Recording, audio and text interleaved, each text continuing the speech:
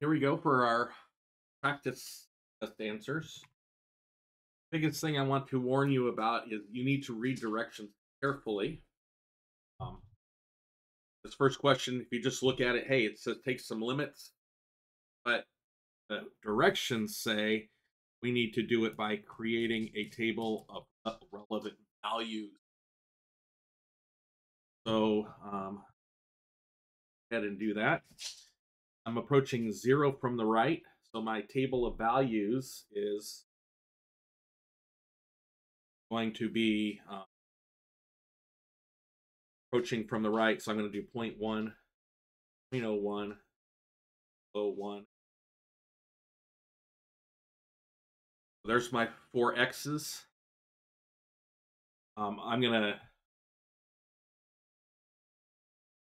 do two things here, and then I'm going over x. Absolute value of 4x would be 0 0.4. 0.4 divided by 0.1, multiplied by 10, which is 4. This is going to be 04. 04 divided by 0.01 is again 4. 004. 4. 0004. 4. My answer is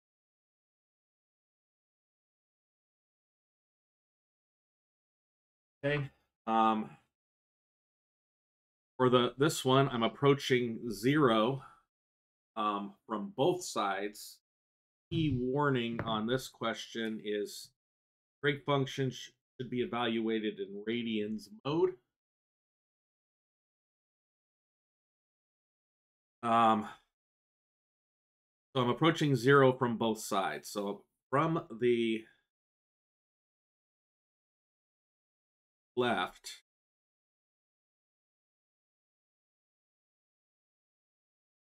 negative point zero zero one, and from the right point one point zero one zero one zero zero one, and other key point on the directions here. Our function values should be correct to five decimal places. So I am actually going to use the calculator, make sure I am in radians mode. I'm going to do the sine, put it in fractions, sine. 5 times negative point goes over 3 negative point 1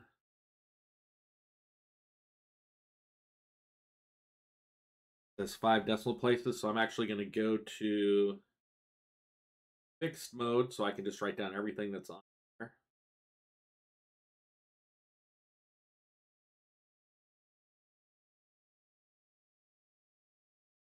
And first part, I get 1.598 Can't see the calculator, I'm sorry.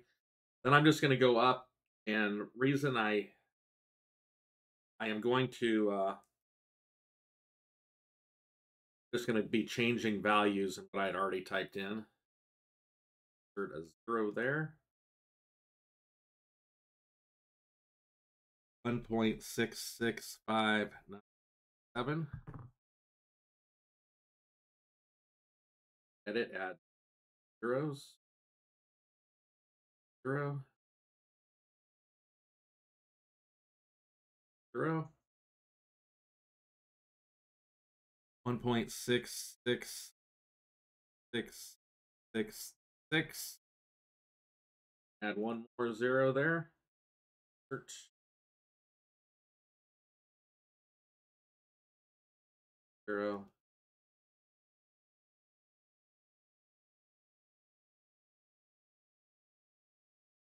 This is 1.666 six, seven.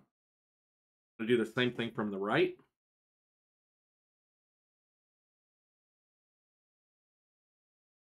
Original.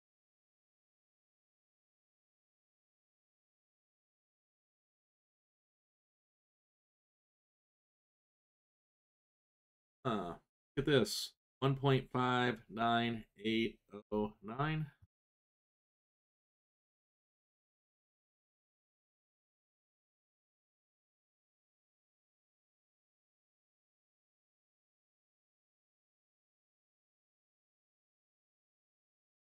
One point six six five nine seven. Um, add one more zero. I'm gonna bet you I'm gonna get the five sixes here. Zero. Second insert zero. One point five sixes. Six six six six seven. Well, six repeating, you should remember is two thirds. At seven is because of the sixes repeating. I end up with one and two thirds, which is five thirds. Which, okay, I did need a table of values to create these functions. But, um, we did several homework questions where we had this limit as it approached zero, sine of 5x over 3x. And we knew that we could get the final answer would be the 5 thirds. So you can go ahead and use your regular limit rules to check to see the answer. Make sure you give me a table of values.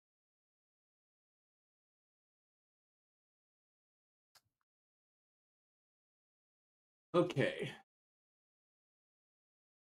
Next uh, limits. This one says determine the limits by using rules of algebra to simplify the expression.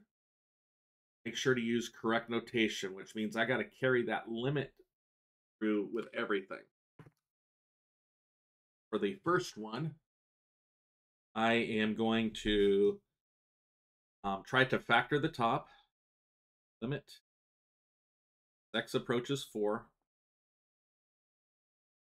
The top, two numbers that multiply to negative 8 that add to negative 2 would be x minus 4. And x plus 2. Okay, these cancel. I now have the limit as x approaches 4, just x plus 2. And now I can actually do the direct substitution. I'm going to put the 4 in for x. I'm going to get 6.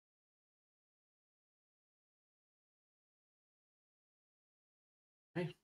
The next one. First part of algebra I'm going to do is I'm just going to divide everything by h. Just going to leave me with the limit.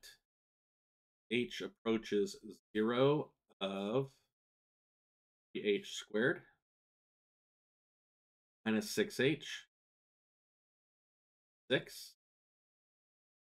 I can now let h go to 0, which give me 3 times squared minus 6 times 0. 6 is just 6.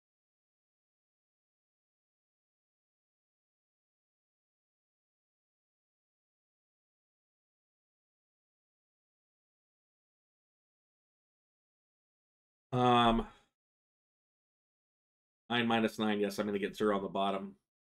First thing I want to do is I want to factor the top and the bottom. Okay, for the top, two numbers that multiply to negative 6 that add to negative 5.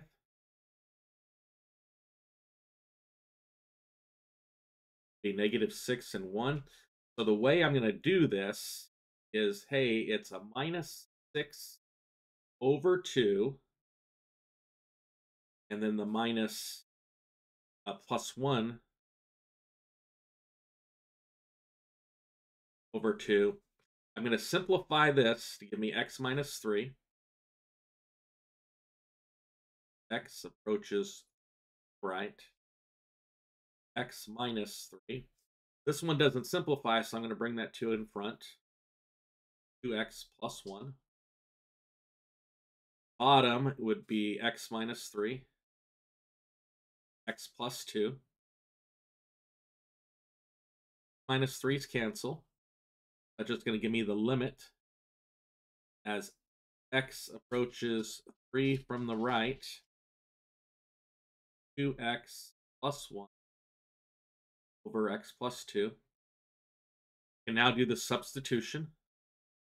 Have 2 times 3 plus 1 for 3 plus 2 is 6 plus 1 is 7 for 5 7 all right it looks like i had a little bit of the work off the top of the screen I factor top and bottom, canceled out the x minus 3's. Write it what it looked like after canceling. I can do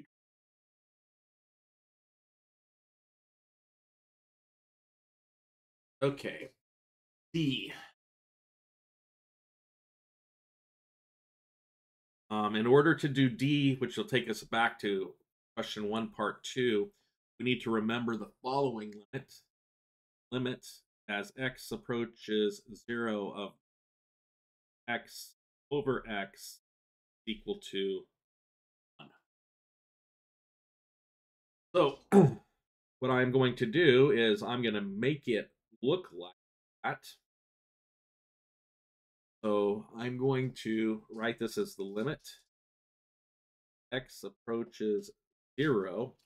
So this is the, not just an X, it's the limit of the sine of something divided by that stuff.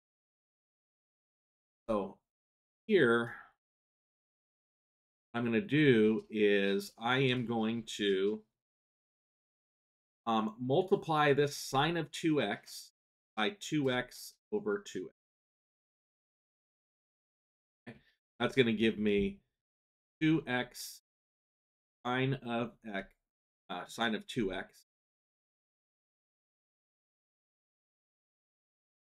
over 2x.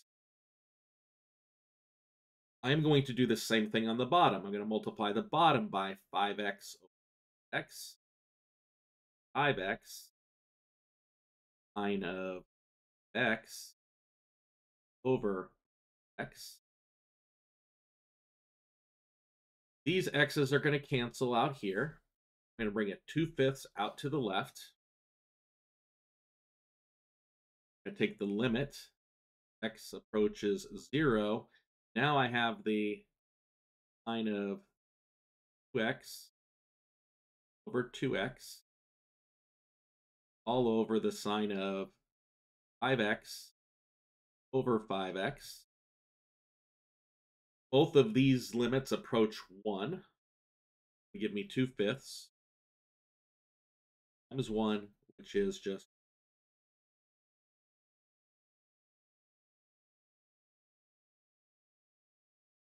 And the last one, let me rearrange the desk a little bit so I can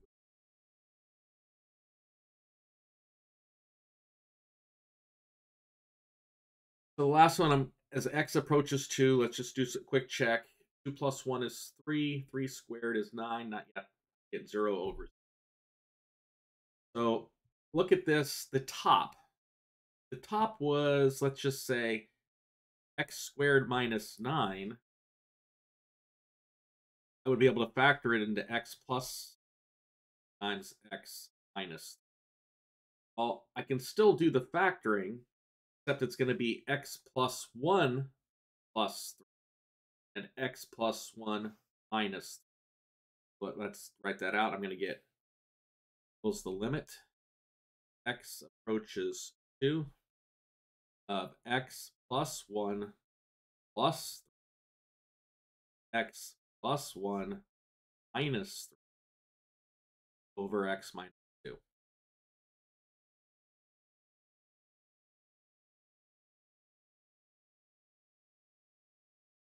Okay, well, this is x plus 4. This is x minus 2. x minus 2's cancel. I'm now left with the limit as x approaches 2 of x plus 4. You now take that limit by putting a 2 in, 2 plus 4, and that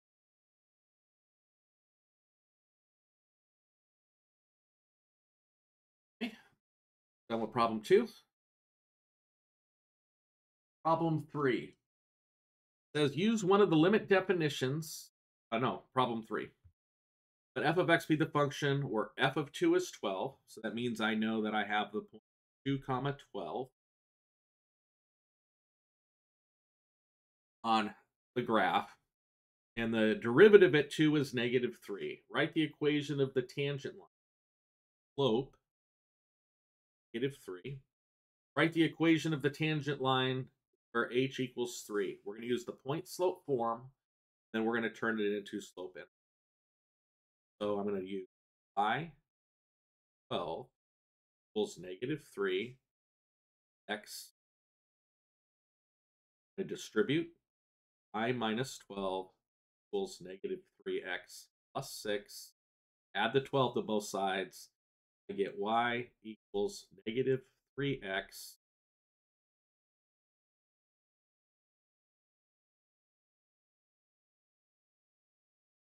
Now, use one of the limit definitions of the derivative, your choice, to determine the derivative. When done, also find derivative evaluated at 3 and the equation of the line tangent be negative 1. Limit definitions are listed below.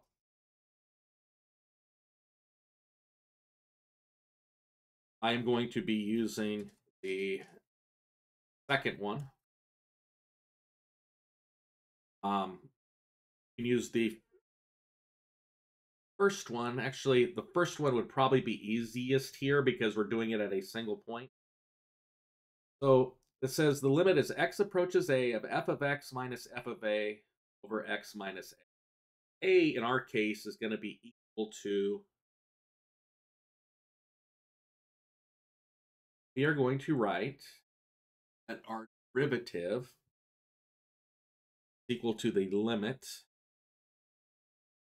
x approaches f of x minus f of a f of 3 all over x. Well, f of x is easy. That's just going to be limit x 3 of x is easy. That's going to be x squared minus 6x plus 8. On my f of 3, put a 3 in here. It's going to be 9 minus 18 plus 8. Not plus 18, plus 8. So negative 9 plus 8 is negative 1. I'm going to be subtracting a negative 1, which adding for x minus um, limit as x approaches 3. This is a plus 9.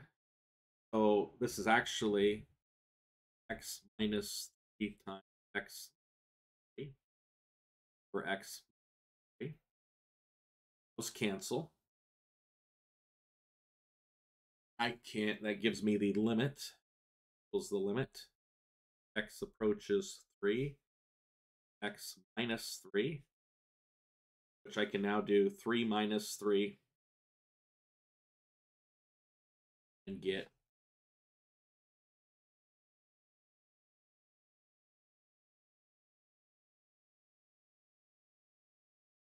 just did it. Actually, I did more work than I was supposed to here. This answer is zero. I was actually supposed to do I had plugged the three in early. I'm going to redo this part on the green piece of paper really quick.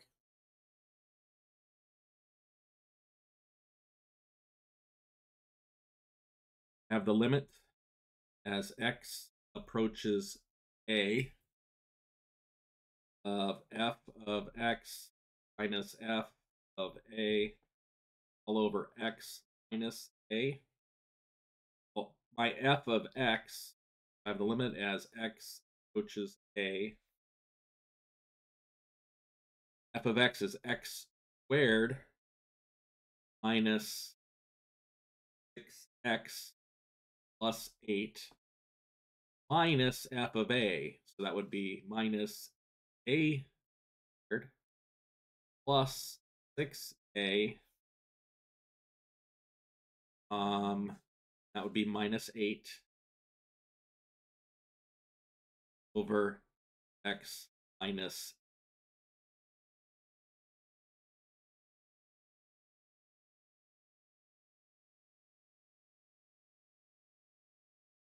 Okay. Um,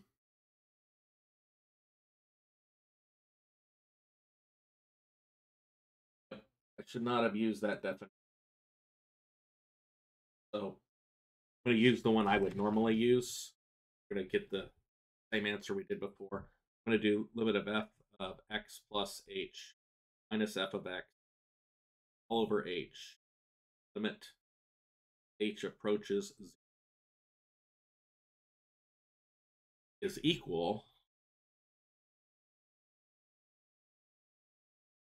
x plus h squared minus 6 times x plus h plus 8 minus my original function minus x squared plus x minus 8 all over h. Limit h approaches 0 have the limit. H approaches 0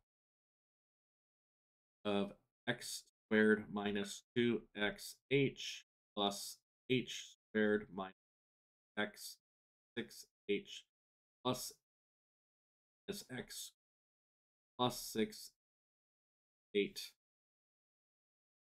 all over h. x squareds cancel. 6 x's cancel. 8's cancel. Every term has an h left in it. Um, so what I can do is I can get rid of an, one h out of everything. I get rid of an h out of here. I get rid of an h out of here. Get rid of one of those h's. Get rid of that h. So my derivative is the limit h approaches 0, negative 2x plus h minus 6. Now I'm going to let the h go to 0. It's going to give me negative 2x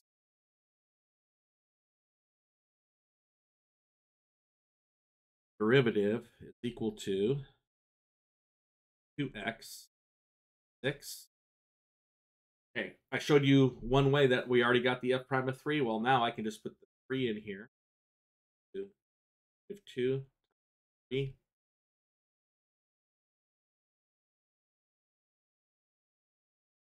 How did I get a negative 2x? Oh, it's this is supposed to be a plus a 2x. X. 2 times 3 is 6. 6 minus 6 is... I know I did a lot of extra work. Big thing is here, it says use one of the limit definitions to determine. Oh, again, we can go back and check our work by using just the power rule. I have x squared minus 6x plus 8. Prime of x would be 2x minus 6. You can always go back and check your. Now it wants the equation of the tangent line. Well, here's my point. Slope is 0. So um, we, we've got, I gave you the equation in the previous problem. I minus an x. Let's look here. If this is 0, this whole side is zero. Which means I have a, basically, I have a horizontal line. I want the equation of a horizontal line that goes through negative 1.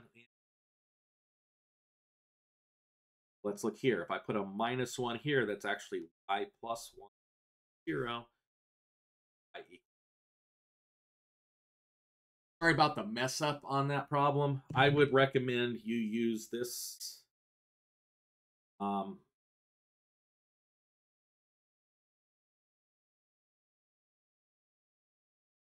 use that definition um, to do the f of x, f of x plus h. And now we get to the easy part. Is use the graph of the function. Answer the questions below. Write the D and E if it does not exist. we keep the graph up there. It says list the x values on the interval negative 6 to 6 for which f of x is discontinuous. Well, it's discontinuous here at negative 3. Discontinuous at 0. It is discontinuous at 4. Now it says list the x values on the interval of negative 5 to 5 closed for which it is not differentiable. Okay, it is not differentiable at negative 3. It is not differentiable at zero, but it is differentiable. Um,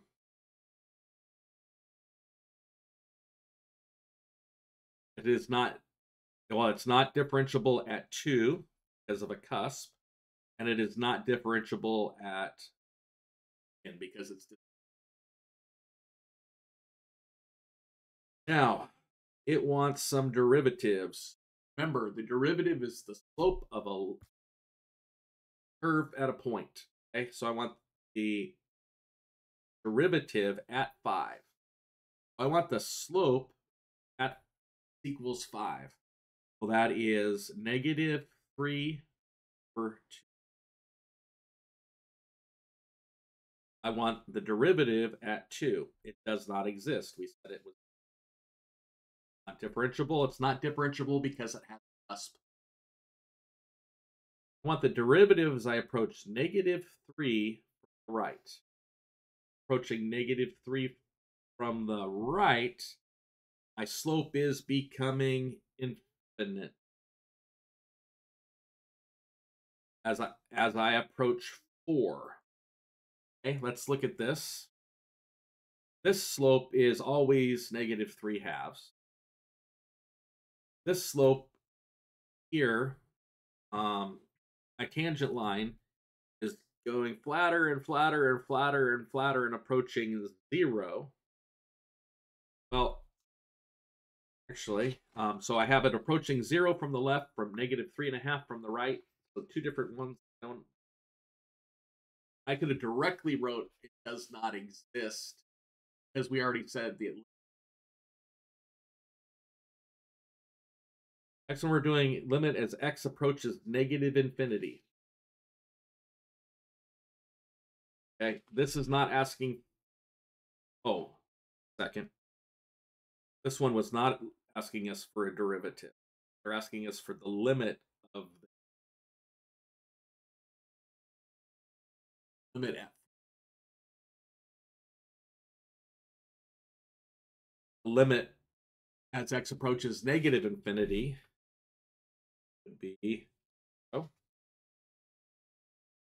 limit as x approaches zero going to be does not exist because it approaches two different values.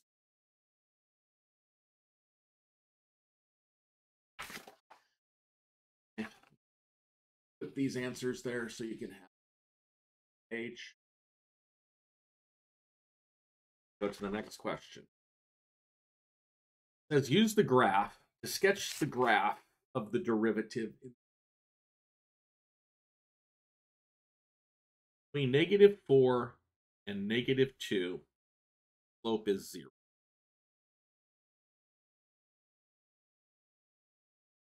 Um, also 0 between negative 1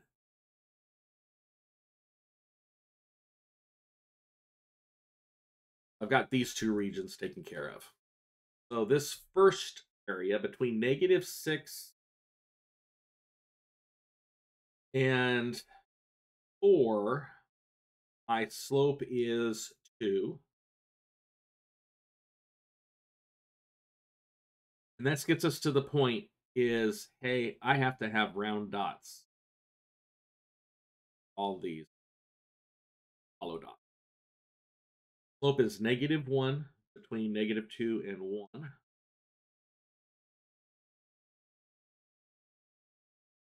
Slope here is negative 2, and that goes all the way to 4.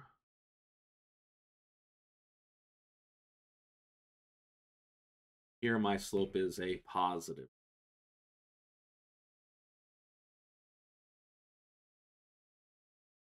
Oh, biggest point here is hollow dots.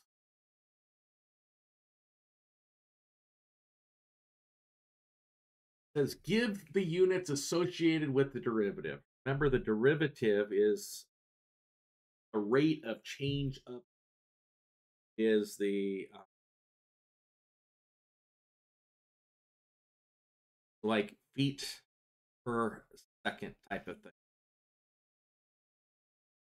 If I would have a graph of times, let's look at this. If x units are in feet, y units has pounds.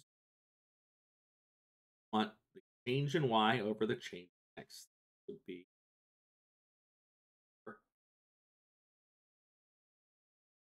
if the x unit has amps, y unit has volts, f of x to do volts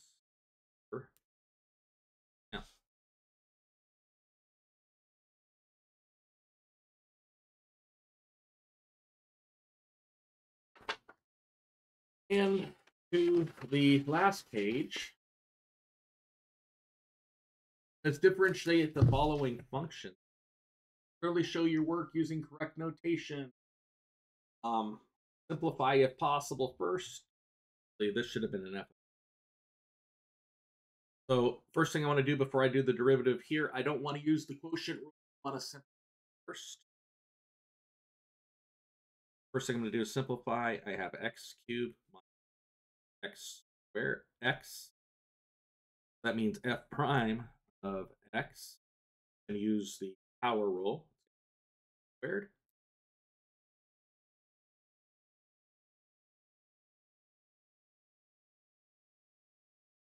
Next one, it says f of t equals e to the 2t plus 6e to the t plus 5. I'm going to kind of say x is equal to e to the t rewrite this really quick.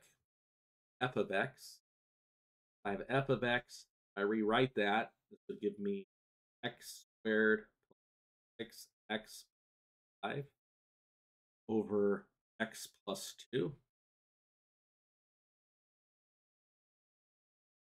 I just want to see, I wanted to see if there's anything I can do to factor it first. In this case, I'm not able to. I think on your test you are going to be I think what I did is I goofed up. I should have put the 5 here. This, this would be uh, x plus 2, x plus 5, x plus 1, 2. I just wanted to do that to see if I could cancel out anything. I think on your test you actually can. That didn't do me any work, so now I'm going to have to use the quotient rule. Quotient rule go over V, low, E high, high, U, T prime. So, prime of T. Is the denominator, the T plus 2, times the derivative of the numerator, Um, this is going to be 2e to the 2t plus 6e to the t. Plus 0 minus the numerator. E minus e to the 2t plus 6e to the t. Plus 5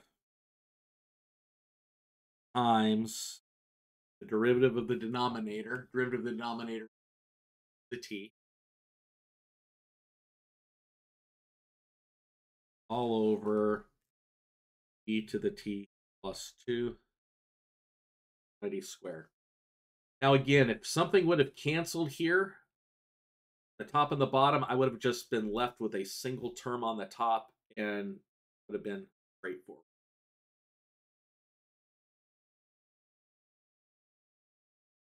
Okay, this is e to the x times the square root of x.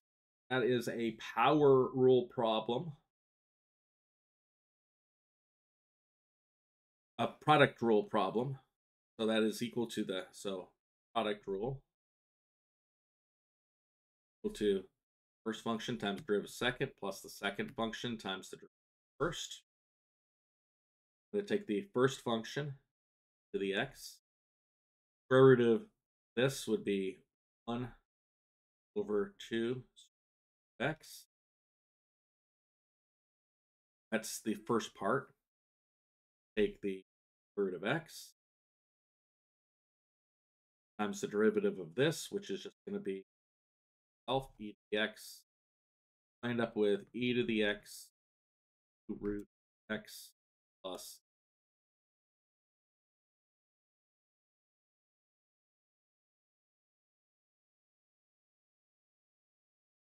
going to do some factoring here. x cubed plus 1 is equal to x plus 1 x squared plus x. Copy. Main.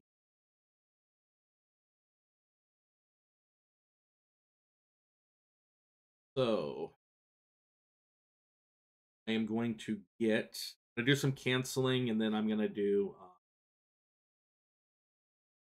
so this x plus one here is gonna cancel that one I'm gonna be left with x equaling x squared minus 1 over x squared minus x plus 1. I'm going to use the quotient rule.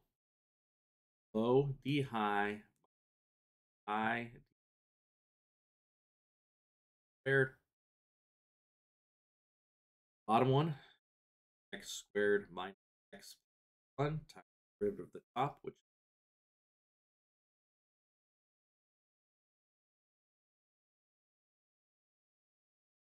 i i minus x squared minus 1. Derivative of the bottom, which is x minus all over squared is x squared minus x plus 1. Okay, do not have to simplify that. You're done. Next one is a product rule. first function times derivative second plus the second function. First function,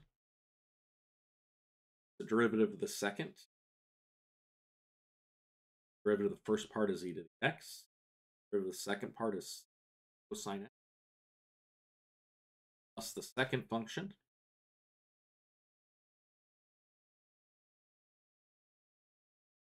Times the derivative of the first derivative of sine of x is cosine of x. and um, we're done because the directions say do not simplify. And the last one, I have to use the quotient rule. Low, high, high, low, bottom, derivative of the top, derivative of sine of x is x, derivative of cosine of x is negative sine of x, so negative times that negative becomes minus function. X, x times the derivative of the bottom, which is x, all over the squared, which would be x.